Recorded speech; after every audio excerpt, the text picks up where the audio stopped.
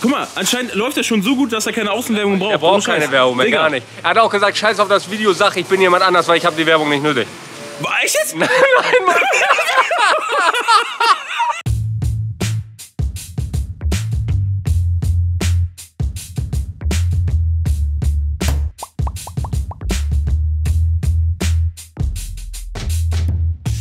kurze Werbeunterbrechung für den Sponsor unserer heutigen Folge VPN CyberGhost. Warum das unter anderem für die Serienjunkies unter euch sehr interessant sein wird, erkläre ich euch gleich. VPN CyberGhost verschlüsselt eure IP-Adresse.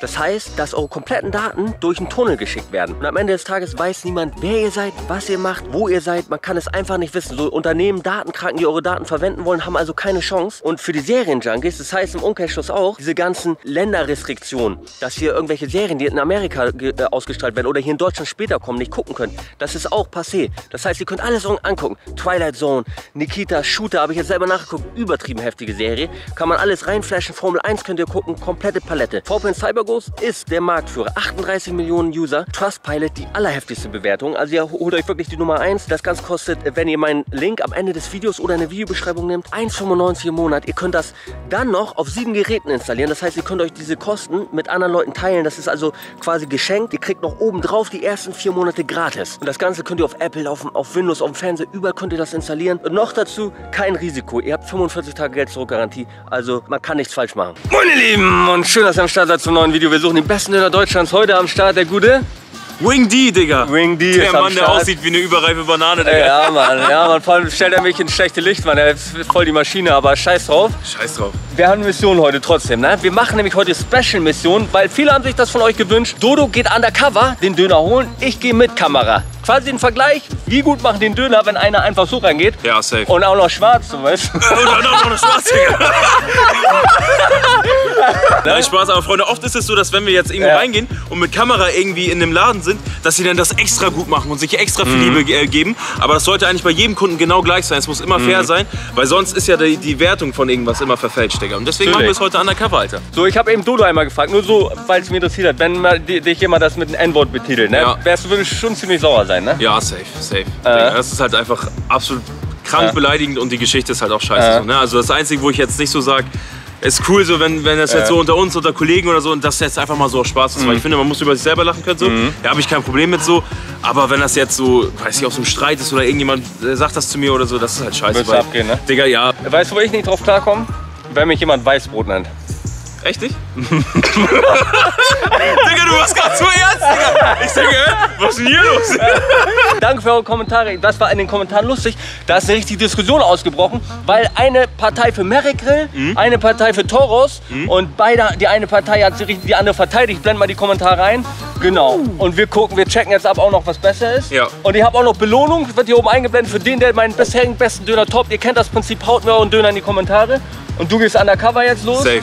Wir sind jetzt hier am Start, hier sind fünf Dönerläden in der Reihe und das Navi hat ein bisschen eingekackt. Wir sind zum ersten zum Glück, wir sind wie die Dullis, wir wollen einen Undercover-Check machen, wir gehen alle zusammen, gehen wir dahin.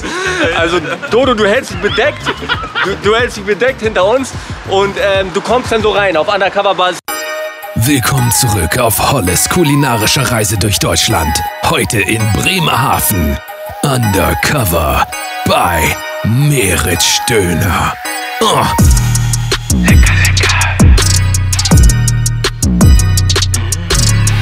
Bei Meritsch Döner werden nicht nur die Tomaten von Hand geschnitten, sondern auch die Chilis. Geführt wird der Laden vom zukünftigen Bürgermeister Bremerhavens, Meritsch. Seid gespannt auf das saftig-knaftige Urteil des saftig-knaftigen Holle. Ah, das ist ein richtiger Wagen hier. Er soll heftig sein. Er soll einfach heftig sein. Wir gucken mal eben. Ähm, der, der Dönerspieß geht gerade nicht. Also der Grill. Uh, ja, wir versuchen jetzt hinzukriegen. Guckt euch diesen Fleischspieß an. Der sieht echt, der sieht anders aus. Du musst es hinkriegen mit dem. Sonst, ich äh, kenne ein paar Elektriker. Ahmed, kannst du das reparieren? Natürlich nicht. Also wir kommen in einer Stunde oder anderthalb wieder, gehen erst zu den Toros jetzt. Aber der, ja, er hat Elektriker gerufen und das braucht einen Moment. Weiter geht's, nicht etwa im Töre, so wie Benjamin Blümchen sagen würde, sondern im Toros. In einem guten Dönerladen gehört der Chef hinter den Tresen. Dieser Chef geht sogar zur Arbeit mit zwei gebrochenen Händen. Doch was wäre dieser Chef ohne die Zwei-Mann-Armee? Uzu, Benjamin, Töre, ich meine, das Toros bietet zwar ein wunderschönes Ambiente, doch die Frage aller Fragen lautet, wie wird es schmecken? Mega viel los hier. Toros Grill, richtig was los. Sieht mir, hat ein bisschen Stil vom, vom Griechen. Okay, guck mal, Leute, wir haben, falls der Strom vom Kollegen Berek nicht geht, ne, haben wir hier, die sagen, eigentlich sogar noch besser, sagen sie, ne, aber da gibt es immer Geschmackssache. Wo ist der? Dino Steak Döner Ringstraße. Und die machen selber den Die Spieß machen auch. wir auch alles selber. Okay, der Kollege, der wollte erst nicht, ne? Respekt. Aber voll das Tier, ne? 2,5 Meter fünf oder so. 2,6 Meter. Sechs. Gut 2,6 Meter, sechs, heftig, Mann. Guckt euch die Maschine an. Dodo kommt gleich Undercover-Basis. Wir drehen jetzt erstmal was. das war dumm gesagt. Wir gehen jetzt rein. Wie ich eben schon meinte, das erinnert mich irgendwie an Griechen. Weil ich habe eben gesagt, es äh, kommt, kommt irgendwie so griechisches Feeling hier rüber. Malaga sagen die immer, die Griechen. Kennt kennt ihr das? Ja, Malaga. Ich werde gleich schön Döner bei euch essen, ne? Ähm, Selbstgemachte Döner hier. hast du selbst gemacht? Ich schwöre. Richtig. Ehrlich, der ist selbst gemacht? Das ist selbst- selbstgemachte Döner. Ah, was ist das für Fleisch? Das ist Scheibenfleisch. Scheibenfleisch. Oh. Wer bereitet das zu? Chefin, ne? Chefin, genau. Oh, jetzt geht mein Herz auf. Also wenn ich das jetzt schon höre, selbstgemachtes Fleisch. Oh, was für ein Fleisch ist das? Wisst ihr das? Das ist Kalbfleisch. Kalbfleisch. Ne? Rindfleisch, Wie genau. sagt man? Äh, Japrak, nicht Japrak? Japrak. Japrak, ne? Türkisch Japrak. Naturell Döner. Geil, Mann. Türkische Name. Ja, Bio. Ehrlich? Was ist mit Brot? Brot, äh, Auch selber. macht ihr auch selber? Auch selber. Heftig. Immer selber gemacht. Ich muss lange immer suchen, bis ich einen Döner finde, so selfmade wie bei euch. So vieles ist ja immer einkaufen, schmeckt auch geil oft, ne? aber da bin ich noch heißer drauf jetzt hier. So, ich habe jetzt nochmal den Chef. Fleisch habe ich schon gesehen, Brot, alles selbst gemacht. Ne? Alles selbst gemacht. Ähm, das Fleisch, was ist das für Fleisch, was ihr benutzt? Selbstgemacht ist Ja. nur äh, Kalbfleisch. Nur Kalbfleisch. Kalb. Und Gewürze wahrscheinlich rein, ne? Gewürze und mit Joghurt Äh. mariniert. Also Okay, wie lange habt ihr den Laden hier schon? so 17 Jahre schon. War hier vorhin Grieche drin? Nein. Nein. Auch, auch. Ah, okay. Auch Dönerladen, aber klein. Ich bin gespannt. Ich werde gleich erstmal testen. Dank dir, ne? Ich danke dir. Super. Ich werde jetzt erstmal nochmal den Salattresen inspizieren. Also wir haben scharfe Soße. Wir haben Tzatziki-Soße. Ähm, Cocktail habt ihr auch, aber woanders, ne? Ah, okay. Ich nehme scharf und Tzatziki. Zwiebeln, Tomaten, das war's. Zwiebeln und Tomaten nehme ich drauf bei mir auf den Döner. Dezent, wisst ihr? Wenn Fleisch selber gemacht, alles viel Aufwand. Ich will das Fleisch spüren.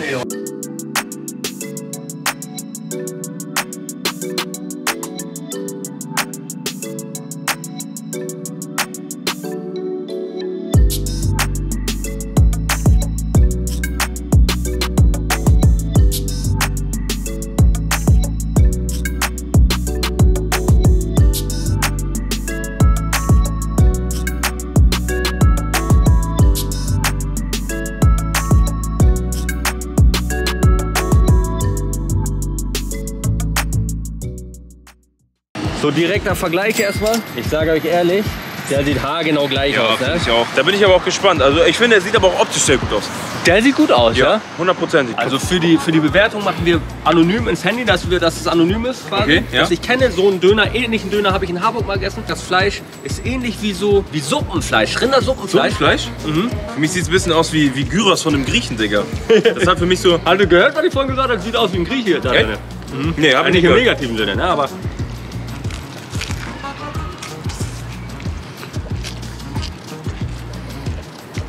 Erster Eindruck würde ich sagen, die Soßen gefallen mir beide sehr gut. Mhm. Gerade Tzatziki so auf so einer Joghurtbasis. Die scharfe Soße haut nicht um. Die ist heftig. Tzatziki frisch, wie du du sagst, 100 Prozent. Ja. Das sagst du zum Brot? Finde ich nicht so geil. Finde auch ein bisschen zu präsent.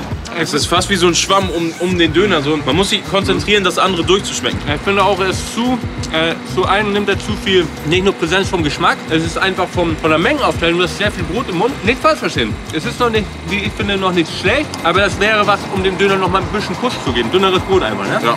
Wir gehen jetzt erstmal weiter zum nächsten Döner. Dann sehen wir uns zu der Bewertung hier wieder an Ort und Stelle. Krass, wir sind jetzt beim nächsten Laden. Es ist wieder ein Imbisswagen. Heftig. Und das soll halt, wir, wir mussten jetzt, bisher hat der Typ den, den Grill noch nicht zum Laufen gebracht. Wir müssen jetzt äh, zu dem Tipp von den anderen, weil die meinen ja sogar, der ist angeblich noch besser. Ich weiß es nicht. Dinos Döner ist das. Die Sonne über den Dächern Bremerhavens geht langsam unter.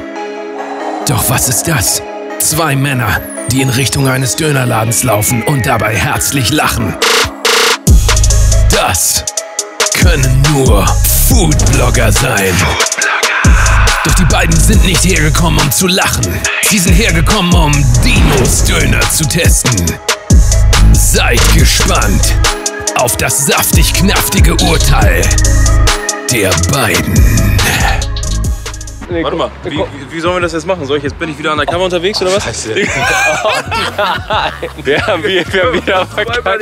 Okay, irgendwas wird sich heute dabei gedacht haben, Digga, und dann einfach verkackt. Aber Ahmed ist auch schon mal direkt vom Laden packen. Wie sollen wir Ja, Mann, undercover Ahmed, kommen? Digga, was ist das, Digga? Wenn wir Ahmed vom Laden ohne. Scheiß. Ahmed, Bruder, was ist denn, was ist denn mit Einmal mitdenken, weißt du? So, wir haben hier direkt den Chef am Start. Moin, grüß dich. Moin, Wie heißt du? Äh, Dino. Dino. Ach, das ist auch Dino. Du, aber das ist dein Spitzname, du heißt nicht Das ist wirklich meine Spitzname, ja. Deswegen Okay. heißt es auch Dino Steakdöner. Ich habe da den Tipp eben von ein paar Jungs bekommen, die sagen, du hast einen Steakdöner. Ja, Ne? genau. Machst du den selber oder bestellst du den? Sei ehrlich. Ich lasse ihn machen, Du lässt ihn machen. genau, nach meiner Rezeptur. Okay, okay. Also das ist meine Rezeptur. Ich Ja. lege den Fleisch ein, ich schicke den zu der Firma und die Firma äh, spießt das auf den äh, Ach, du legst das selber ein. Ja, natürlich. Du legst das, Das ist selber meine ein. eigene Marinade, ja, genau. Aber es ist quasi alles vorbereitet, du schickst es nur hin. Nur, ich schicke das nur hin. Wöchentlich, das Äh. Fleisch wird äh, mariniert. Äh, Das wird in, von der Firma abgeholt. Ah. Die erste Ladung Mhm. wird zu mir gebracht und danach die andere Ladung mitgenommen. das von Dino der Laden? Ach so, der Besitzer heißt Dino. Ja, aber der Laden heißt auch Dinos. Ach so, Ja, ja, okay. der heißt auch Dinos. Äh, Guck mal, anscheinend läuft er schon so gut, dass er keine Außenwerbung braucht. Er braucht Scheiß. keine Werbung mehr, Digga. gar nicht. Er hat auch gesagt, scheiß auf das Video, sag ich bin jemand anders, weil ich habe die Werbung nicht nötig. Boah, Echt jetzt? Nein, Mann. Wir haben hier noch mal ein paar Augenzeugen. Der Döner hier soll der beste sein. Der aller, aller, allerbeste. Ja? Echt? Wie könnt ihr den Geschmack beschreiben? Super. Ja? Wenn ihr den Geschmack beschreiben könntet, so von 1 bis 10, was würdet ihr sagen? Auf der Skala 1. Ja? Und wie? Also von 1 bis 10 eine 1. Also perfekt, besser. Okay, Dino, jetzt kennst du das Eingemachte, ne? Ich bewerte ja deinen Döner gleich. Du musst dich dieser Challenge natürlich stellen, ne? Ich bewerte von 1 bis 10. Was macht dein Döner aus, wenn du es so auch mal sagen kannst? Also mein Döner ist aus, äh, sag ich mal, Kalb, der nicht älter ist als zwölf Monate. Ja. Außerdem ist das aus Steakbereich. Das Ah. heißt nicht der Hüfte, sag ich mal, die Hinterkeule. Ja. Das ist eher so an den Rückenteil, wo das Steak äh, Ja. wird. In diesem Bereich ist das das Fleisch. Okay. Deswegen heißt das auch Steakdöner. Ne? Okay. Das ist auch, äh, sag ich mal, in Bremerhaven ist das äh, einzige. Du hast ganz normal scharfe Soße, hast du? Scharfe Soße, Tzatziki, das ist Paprika. Das ist Paprika. Aber ich habe noch separat noch Cocktailsoße, Chili Ja. Cheese Soße, Kung Fu Soße. Ach, du hast noch ganz viele. Etliche Sachen habe ich selber zusammengestellt. Ah. Gelernter Koch. Deswegen habe ich auch noch separat noch äh, drei andere Soßen. Sagen wir mal, du hättest die Chance, uns deinen Top-Döner zu präsentieren. Ja. Mit welcher Soße würdest du ihn geben? Also ich würde den lieber mit Kung Fu Soße nehmen. Mit Kung Fu Soße, okay? Genau. Was ist denn Ja. ja. Tofu-Soße? Ich sag nur ein paar Sachen, sage ich nur. Da ist ein bisschen Mayonnaise drin Ja. und Knoblauchzehen. Okay, oh geil. Und da du gutes Fleisch hast, nehmen wir, glaube ich, nur Zwiebeln und Tomaten wieder Dodo? oder willst du mit mehr? Nee, nee, zieh mich mal.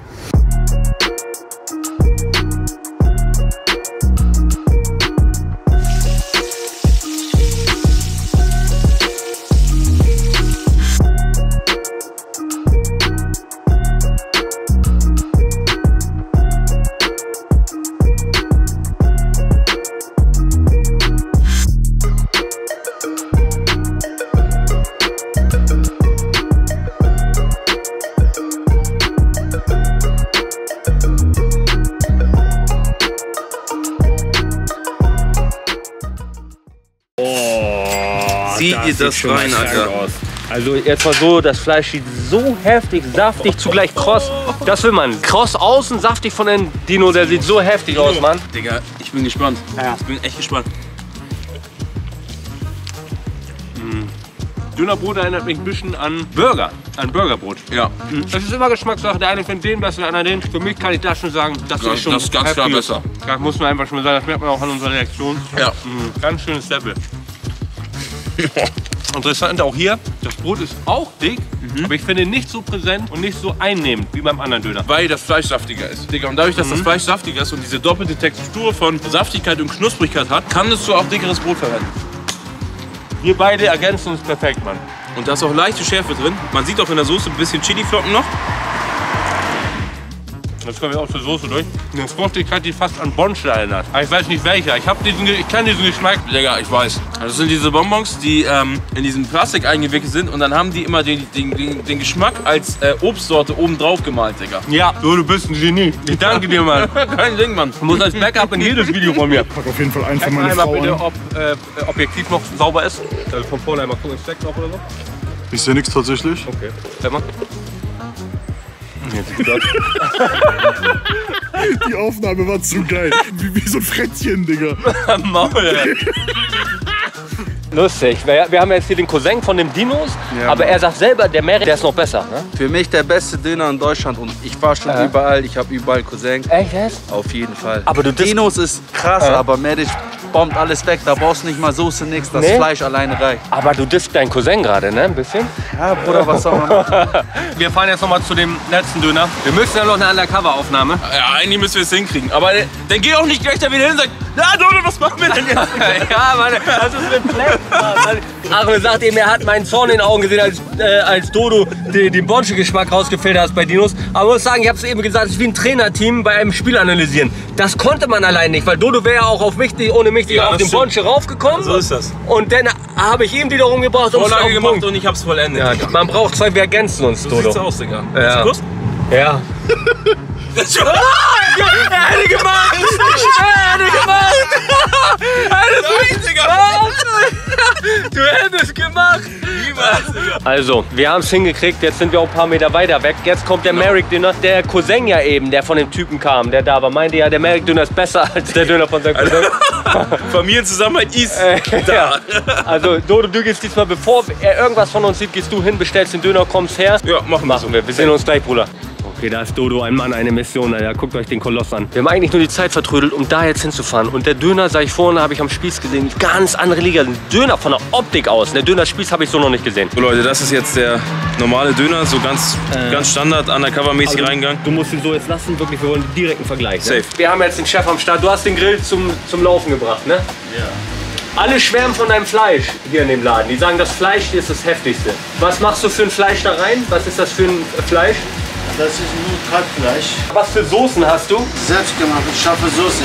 Tzatziki und Remoulade gemacht. Das hier ist Ja. selbstgemachte, ne? Oh, das sieht richtig, guckt euch das mal an, das sieht ganz anders aus. So habe ich es noch nicht gesehen. Okay, ich weiß schon genau, wie ich meinen Döner nehme. Guck mal auch äh, hier der Salat, ganz anders. Gemischter Salat ist das, ne? Noch mit Pepperoni drin auch, ne? Ja.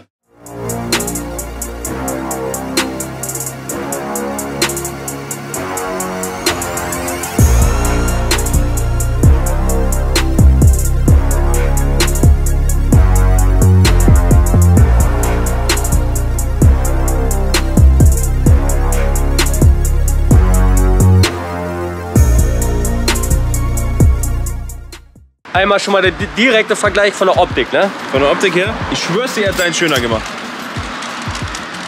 Ähm, ja, meiner sieht besser aus, aber ich habe nicht mehr Fleisch oder so. Ich glaube aber ehrlich, meiner sieht nur besser aus, weil ich habe dieses äh, Eisbergsalat noch drin. Ich glaub, Ah, ich- okay. Ich, glaube so vom Ding her, du hast die Tomaten an der Seite. Meiner sieht ein bisschen besser aus, aber das würde ich jetzt nicht so adverten. Du hast zumindest auch sehr viel Fleisch Ja, drin, das ne? stimmt, ja, ja.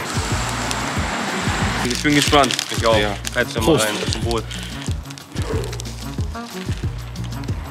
Ganz zartes Fleisch. Bei dir wird anders jetzt sein, weil da müssen wir Dodo ein bisschen rauslassen. Vielleicht teilen wir uns auch den Döner hier. Ich sage aber ganz ehrlich, wie es ist. Es ist die Bremerhaven-Krankheit. Die haben einfach scheiß Brot, Alter. Es ist wieder so fettes Brot, Mann. So heftiges Fleisch, das Brot einfach wie ein Weißbrot. Weiß ich nicht warum. Ich weiß auch nicht. Ich glaube, ich muss mich aus der Welt ein bisschen rausnehmen, weil wenn der kalt ist, ist es schwerer, dann die Geschmäcker zu schmecken. Fleisch ist dann ganz anders. Also wir werden jetzt hier, ich werde gleich noch aufessen, wir springen jetzt zur Bewertung vom ersten Laden, ballern das alles einmal durch und sind zum Schluss bei der Bewertung von diesem Döner. Die haben das Fleisch und den ganzen Döner insgesamt nochmal nachgewürzt, also schön gesalzen. Das finde ich immer sehr, sehr gut. Macht nicht jeder Döner. Gemüse war frisch, sehr schön knackig, so muss sein. Die Soßen waren sehr, sehr gut, hat mir, haben mir sehr gut gefallen. Gerade weil Tzatziki nicht so fettig war und so, so frisch geschmeckt hat. Und das hat sehr, sehr gut mit dem Döner harmoniert. Jetzt komme ich aber zu dem Negativen, das Fleisch. Warum? Es ist zu trocken. Das macht es ein bisschen anstrengend, den Döner zu essen. Für meinen Geschmack auch ein bisschen dünner geschnitten, sodass das halt so ein bisschen mehr Döner-Feeling bekommt. So hat es für mich ein bisschen Pita-Feeling. Und Pita ist genau das richtige Stichwort, auch mit dem Brot. Das hätte für mich A, dünner sein müssen und äh, B, auf jeden Fall knuspriger. Schmeckt trotzdem lecker, geschmacklich das Fleisch sehr gut. Aber es sind trotzdem die Sachen, die es äh, für mich halt nicht zu Zähnen bringen. So, also um, um euch mein Urteil jetzt nochmal zu geben. Ich äh, würdige die Mission, das Ganze selber zu machen und das schmeckt man. Für mich ist da Liebe drin, auch wenn ich dir, äh, wenn ich dir recht gebe, ich habe besseres Fleisch schon gegessen. Besser von der Zusammensetzung, alles. Aber selbst gemacht, das schmeckt man und ich schmecke einen deutlichen Unterschied Ja, zu stimmt. Standard bestellten, äh, bestellten Fleisch. Für mich ist es kein Standarddöner mehr, der ist schon da drüber. Einfach auch Brot selbst gemacht, alles. Und das ist Liebe, die schmecke ich da drin. Döner ist immer ein Gesamtkunstwert, wenn er perfekt ist. Da sind Kleinigkeiten manchmal, die dafür langen, einfach nicht mehr Punkte zu geben. Und das Brot hat zu viel Präsenz eingenommen. Das Fleisch war halt, geht einfach von der Geschmacksrichtung noch besser, habe ich noch heftiger gesehen. Aber für mich ist einfach Gesamtding auch die Soße sehr lecker, Ja. wo ich sage, ich esse selten so einen guten Döner. Und hier würde ich, würdest du auch empfehlen, essen gehen. Ja, ne? ich würd, also wenn Ja. ich hier bin, in Bremerhaven, würde ich es auf jeden Fall empfehlen, ja. Also, bist du bereit, Dodo? Ja. Okay, dann halten wir mal unsere Benotung in die Kamera. Mein professionelles Urteil, ich habe dir 8,1 von 10 Punkten gegeben. Kann man zufrieden sein, ne? Ich, ich habe gesagt immer, weil man sucht ja auch, es hört sich dann blöd, aber man muss natürlich auch Sachen sagen, so Verbesserungsvorschläge immer, ne? Top-Döner, aber ich hätte das Brot, fand ich ein bisschen zu präsent. Ich hätte ein bisschen dünner noch das Brot. Ja, das war so der Hauptkritikpunkt von mir, so, ne? Weshalb nicht noch besser, aber war sehr lecker. Danke dir. Gerne. Und wir haben auch noch, habe ich dir gar nicht erzählt, wir haben ein Experiment gemacht. Wir haben einen Kollegen reingeschickt, er hat ohne Bescheid zu sagen Döner geholt und die haben genauso gemacht wie meinen. Sah genau gleich aus. Wow, schön. Ja, vielen Dank nochmal. Ne? Danke dir. So, wir sind jetzt zurück hier nochmal bei Dinos Dönerbewertung. Also ich werde einen Satz mal für uns sprechen. Ich glaube, wir sind uns beide sicher, dass das Fleisch sehr heftig war. Ja, ne? Digga, also ich muss mich sehr anstrengen, zu, mich er- zu erinnern, wo äh, ich so krasses Fleisch gegessen habe. Ähm, erinnert mich auch gut an diesen äh, Kotolan-Döner. Hast du ja, glaube ich, auch schon mal getestet. Ja. Der hat auch sehr geiles Fleisch gemacht. Aber, Digga, gute Qualität, sehr geil. Knusprig, saftig. Also ich finde, weshalb ich nicht noch besser gegeben habe. Soße, okay, kann man ändern. Habe ich jetzt auch nicht viel abgezogen. War lecker, aber nicht so hundertprozentig mein Ding. Da wäre ich eher dann doch Basic. Denn lieber doch tatsächlich scharfe Soße. Ich wusste ja auch nicht, wie sie war, weil ich probiere gerne mal was anderes. Aber dafür war sie mir zu speziell. Weil es wusste immer speziell und irgendwie fancy oder wie man sagt so. ne? Ja, ja, ja. Ähm, und für mich war das Brot lecker, aber es war nicht Endgegner. Deshalb, da hätte man noch einiges raus und könnte die zwei Punkte weg und es hätte noch besser bei mir abgeschnitten. Bei mir ist es ohne Scheiß 1 zu 1 genauso. Brot ist mir wieder zu dick. Ich weiß nicht, was hier die Bremerhavener Crew hier mit dicken Brot haben. Ja, Digga, immer mit so dicken Brot, das, das fühle ich nicht so. Und die Soße halt. Wir haben es jetzt natürlich genommen, weil äh, Dino gesagt hat, äh, er, er würde uns den so machen so. Aber da bin ich auch so. Also wenn die Soße von diesem anderen Döner hier wäre, Ja. Digga, dann wären wir ganz da an der 10, weil das war schon, wäre schon krass. Also dann wär, hätte ich nur noch das Brot zu kritisieren. Ansonsten, Gemüse war auch frisch, äh, fand ich gut. Ich ich, ich zeige euch schon mal. Aber Holle weiß ja noch nicht. Sehr nah beieinander, wenn ich sagen Echt? darf. Sehr nah beieinander. 8,9 Holger und 9,1 Dodo. Oh, Digga, krass. So, Dino. Top-Döner, Mann. 8,9 von mir, von 10 und 9,1 von Dodo hast du gekriegt. Dankeschön. Ne? Also wisst ihr Bescheid, bei, bei Dino, da macht ihr nichts falsch. Jeder, dieses Fleisch ist heftig, sag ich dir. Danke sehr. Ja, Mann. Dafür ähm, gebe ich mir auch wirklich Mühe. Ja, merkt man. Das ist eine andere, andere Liga als die Standarddöner. Ja. Alle vorbeischauen, Bremerhaven bei Dino. Ich danke dir für deine Action, dass wir auch hier drehen durften. So, jetzt sind wir bei der finalen Bewertung, letzte Bewertung vom Mary Grill. Benotung zum letzten Döner. Dodo. Okay, rein in die Kamera. Äh, ich ich habe noch nicht gesehen, ich schwöre, aber er wird deutlich unter mir sein. Aber man muss sagen, er hat kalt gegessen, ne? Dodo 7,4 und. Ja. Oh, äh, Holger 8,4. Ja. Digga, krass. Aber ich habe Rechnung gemacht. Ich habe oh, also ich habe 6,5 zuerst gegeben. Also Äh. deutlich 6,9. niedriger als du. 0,5 aber nochmal draufgepackt, weil ich gesagt habe, okay, Digga, ich habe ihn kalt gegessen. Es kann sein, dass es noch ein bisschen anders ist. Ja. Und deswegen bin ich auf 7,4 gekommen, weil ich, ich sag mal so predicted habe, wenn ich den heiß gegessen hätte, hätte ich 7,4 gesagt. Okay, ich muss sagen, das Fleisch, es war richtig warm. Diese Soße war echt krank da drauf. Schöne Schärfe. Noch dieses Frische mit den Chilis da drin. Das war auch mal, sag ich mal, dieses Essen, aber auf ganz andere Kreation. Hat wirklich überzeugt. Das Fleisch ganz warm und es war auch zart. Es war lecker. Es war top. Anders, ganz anders als Standard. Kein Standard mehr. Aber das Brot hat eingekackt. Ja. Der wäre deutlich besser, aber das Brot war völlig einfach, es war nicht gut, Mann. Also Brot kann man, selbst wenn man es einkauft, okay. Aber man kriegt deutlich besseres Brot. Nimm Ja. zur Not normales Fladenbrot. Einfach so. normales Fladenbrot. Ja, was mich aber auch echt äh, überrascht hat, ist halt so, wäre ganz unscheinbar, Alter, so eine, so eine kleine Imbissbude und äh, kann so einen guten Döner machen. Wie gesagt, nehmen wir das mal jetzt mit der Bewertung von den Jungs. Kalter Döner kannst du schwer bewerten, aber ich, im Großen und Ganzen waren wir uns überall schon recht einig. Ja. Und ich würde sagen, äh, Dodo, in dem Sinne, danke fürs dabei sein. Danke, dass ich dabei sein durfte. Gerne. Mann. Mich würde freuen, wenn ihr in Dodo ein Abo reinhauen würdet. Ich, ich verlinke am Ende vom Video nochmal. Danke, danke. Ja, hat auch geilen Food-Content. Also ich würde sagen, mit uns müssen safe nochmal Videos kommen. ne? Digga, safe, ohne Scheiß, hundertprozentig. Jeden Hat mir auch übertrieben viel Spaß gemacht. Wenn euch das da draußen Spaß gemacht hat, lasst unbedingt einen Daumen nach oben da. Folgt Holle natürlich, ne? Bei YouTube, bei Twitch, bei Instagram. Kuss, Kuss, Kuss. Wir packen es wieder nach Hamburg, oder? Ja, Mann, wir fahren los. Danke fürs Zuschauen. Bis zum nächsten Mal. Ganz kleiner Reminder nochmal am Ende des Videos. VPN Cyberghost, anonym im Internet unterwegs sein, Formel 1 gratis ballern, Serien, die ihr nicht in Deutschland Deutschland gucken könnt, angucken. In der Videobeschreibung verlinkt oder am Ende des Videos. Wir sehen uns beim nächsten Mal und